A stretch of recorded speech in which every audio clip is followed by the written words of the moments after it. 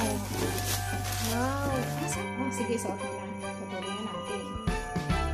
Tama na. Welcome to Love Lines.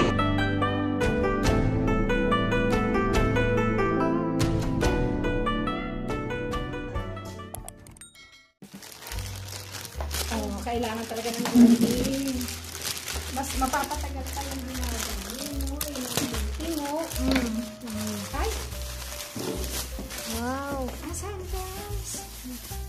Yung sinasabi mo?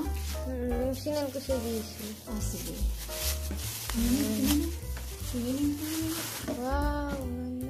Oh, sige, suot mo na. Patuloy na natin. Tapos tatalian na na. Talian na yan. Higpit.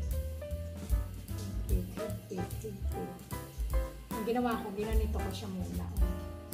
Ganyan.